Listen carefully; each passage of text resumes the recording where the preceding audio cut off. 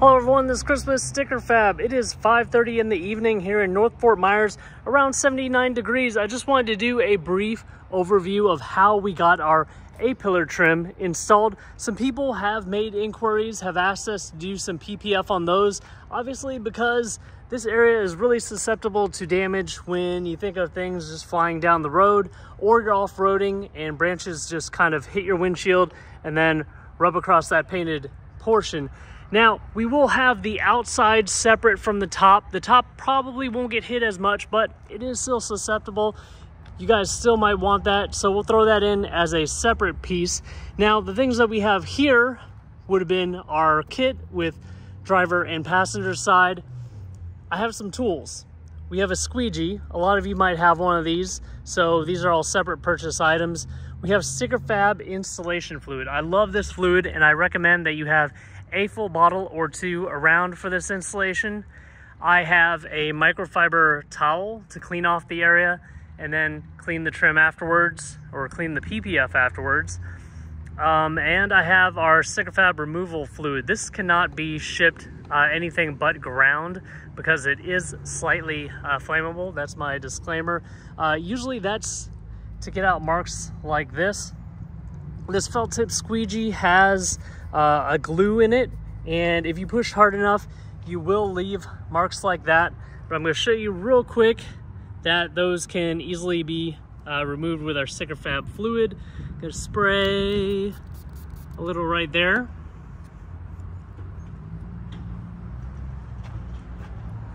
Gonna rub it here, it has that citrus smell.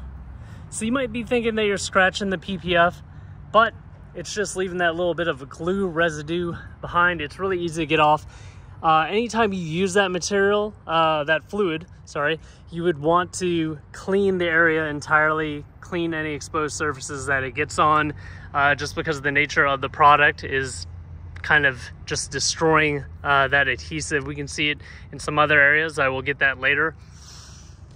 I had to install this a couple times. Uh, this side was mainly uh, practice and this side I'll tell you more about how I got it to go.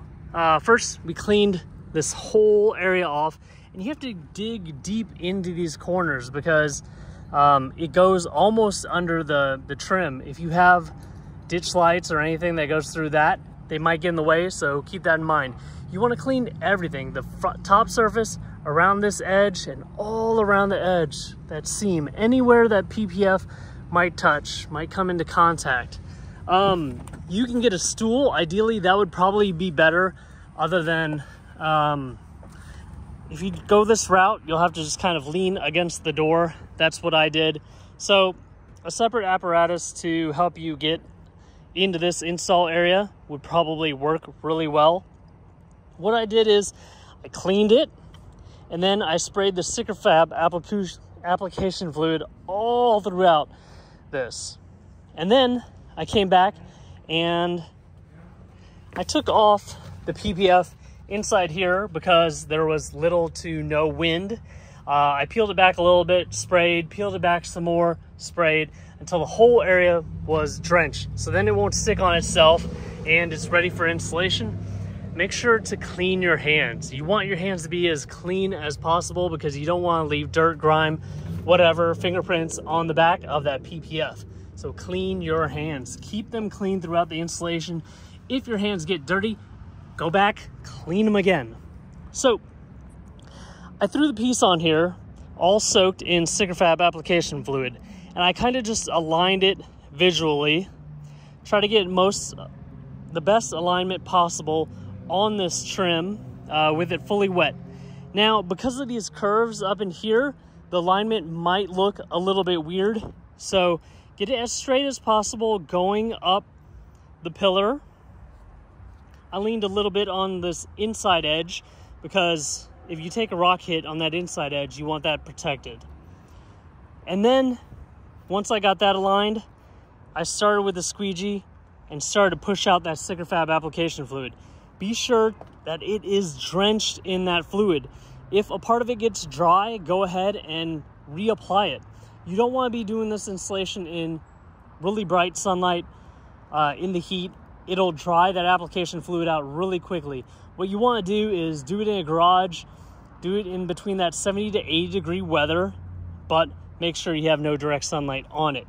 So I started right in the middle, started going down with the squeegee, getting all that application fluid off so it would stay in place. Then I went up here and started doing the same thing. So it was looking really good right here in the pillar, started getting that uh, application fluid out the sides and over the edges. And then the focal point will be right here. And when you do this, you'll have to kind of stretch it along the higher edges. And if it's not going down, you'll have to pull it up and put it back down. Use that application fluid until you're ready to get to the final edges. And then I had to use very light heat. If you look at that heat gun, it has a battery on it. It is a cordless heat gun, but it outputs very, very, very low heat. And that's what you kind of want to use on this PPF. You don't need high amounts of heat. Any of the stickers that we've installed, that thing is good enough. So keep a hair dryer around. Keep anything around. For you guys that have that AC uh, port in the back, you can keep your vehicle on, use that AC port, uh, use your hair dryer or use a very small heat gun. Just apply light amounts of heat so you can kind of stretch that over the edge. Light, light, light amounts of heat. Once you go over, you use too much heat, you've done it. So very light amounts of heat. And that's why this one looks so much better. The last one I tried to line up here and then I just stretched it downwards and I had to stretch it so, so much. So keep this material fully drenched in that sticker fab application fluid, put it on here, get a decent alignment down the pillar, and then start squeegeeing some of that out, and then work on this part. That application fluid helps you move this around as much as you like until you start using that squeegee to get out the fluid. Um, and then it helps evacuate all that air from under there.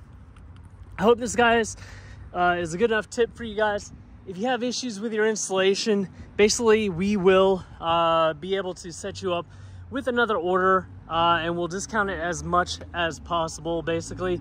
Uh, we offer these PPF kits in sets of one or two at the time of purchase and if you get two that will save you a little bit of money because we get to save on shipping uh, and the packaging materials so it's easier for us to give you two sets right off the bat it is coming back uh, and ship you a whole new set if you guys have any suggestions, any tips, anything else you want uh, to see for the 2021 and up Ford Bronco, please let us know. This video is about eight minutes so far, and believe me, if I had done every single part of it uh, and not cut anything out, it probably would have been 15 to 30 minutes because you're gonna spend a little bit of time on each side. You're gonna learn the material. Your second side will go better, but just take that time. Ideally, you only have to do this once, uh, unless you get tons of damage on your vehicle. So take the time, do it in nice weather, don't do it in the cold, and don't do it in the blazing heat. Please like this video, subscribe to our YouTube channel if you haven't, and hit that bell notification icon for the latest and greatest things that we're coming out with for the 2021 and up Ford Bronco.